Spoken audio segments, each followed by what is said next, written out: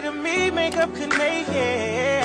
But I think that I'm done tripping, been up and sipping. That's how I. Go. Oh my god. Okay. Ready,